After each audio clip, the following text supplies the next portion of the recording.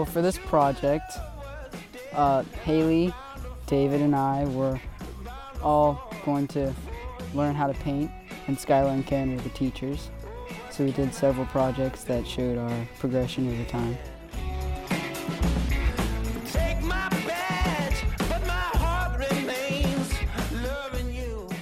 The most interesting part was seeing Haley's and David's and Avery's first paintings. The little paintings were like basically just to show how much art skill we had before we started the project. And they were used kind of as a basis for comparison for the final project and for the mural.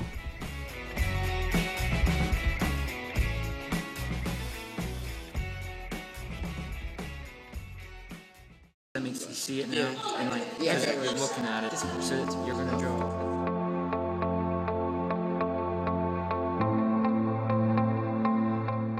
Skyler taught me the perspective, shading, shadows. Use a ruler, that helps. You need a focal point too. I learned how to shade and I learned third dimensions. It's like a line like this where all your lines go. So which would be my favorite point?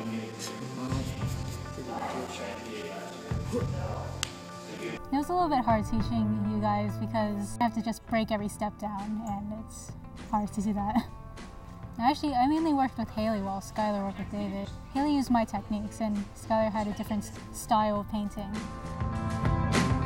I taught um, David the most, and I think he got a lot more handle on how to like do the dark values and the three-dimensional shapes and stuff. We tried to teach them techniques on how to paint. We tried to make their, like the, the second draft of their painting look a lot better.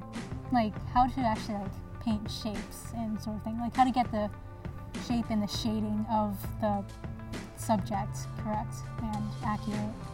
At least, at least realistic. The mural was like a teaching experience for Taylor, David, and I. We all um, got help from Skyler and got to put our own techniques into a picture to make it come out and show what we learned.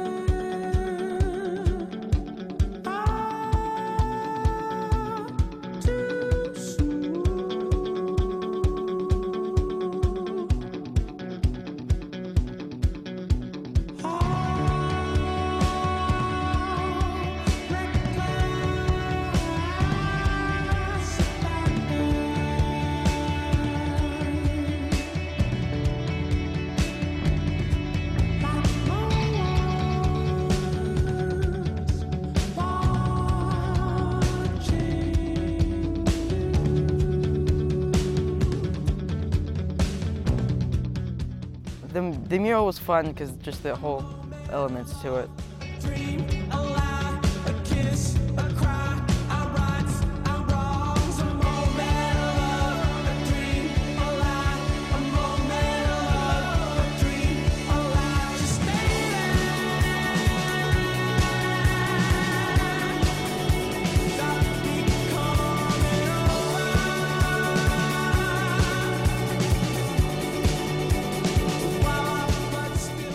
My favorite part was probably finishing the mural because I kind of realized how awesome it was and I actually contributed to it.